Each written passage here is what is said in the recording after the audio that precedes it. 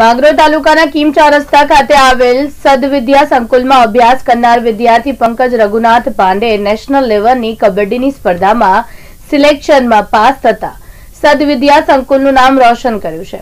કિમની સદવિદ્યા સંકુલમાં ધોરણ એકથી દસ સુધી અભ્યાસ કરનાર પંકજ રઘુનાથ પાંડેનું સિલેક્શન ઇન્ટરનેશનલ કબડ્ડી ટુર્નામેન્ટ માટેની સ્પર્ધામાં રાષ્ટ્રીય કક્ષાની ટીમમાં થયું છે.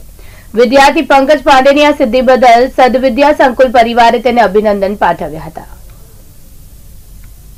નમસ્કાર હું દીપકભાઈ કોલડિયા, સદવિદ્યા સંકુલ મેનેજિંગ ડિરેક્ટર.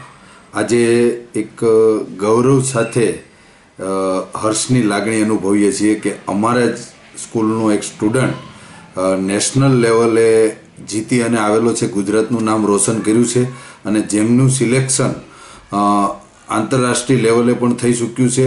આવનાર એપ્રિલની અંદર કબડ્ડી રમતમાં તે નેપાળની અંદર ઇન્ડિયા તરફથી રમવા જઈ રહ્યો છે.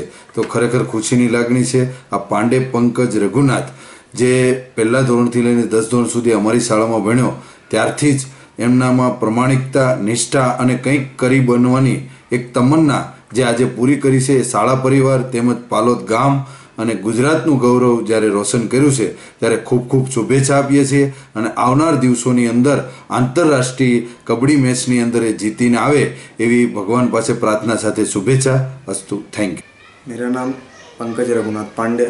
मैं सदविद्या संकुल में पहली कक्षा से लेकर दसवीं कक्षा तक पढ़ा हूँ।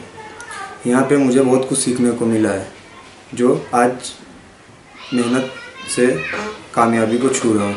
यहाँ पे मुझे हमारे गुरुओं ने मार्गदर्शन दिया अच्छे से। हमारे सर, दीपक भाई सर, उन्होंने हमको आगे जाने का राह दिखाया।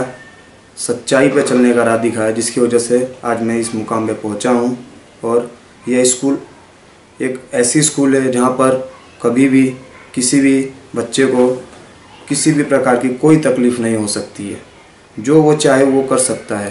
अभी कहाँ पहुँचा अभी मैं नेशनल लेवल पर हूँ कबड्डी में।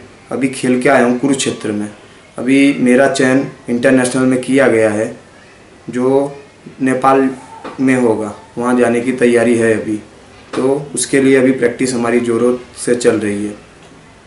और बाकी ये स्कूल, ऐसी स्कूल है जहाँ मैं एक से लेकर दस तक पढ़ा हूँ। लेकिन किसी भी प्रकार की कमी नहीं हुई थी। मेरे, हमारे सर ने हमको सपोर्ट किया, इन लोगों के आशीर्वाद के बदौलत मैं यहाँ तक पहुँचा हूँ।